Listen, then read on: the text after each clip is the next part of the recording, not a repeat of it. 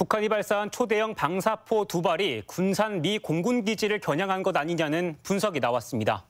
합동참모본부에 따르면 오늘 오전 7시쯤부터 7시 11분쯤까지 평남 숙천 일대에서 동해상으로 발사된 SRBM 두 발이 포착됐는데 395km와 337km 사거리에 가상 표적을 설정한 것으로 알려졌습니다.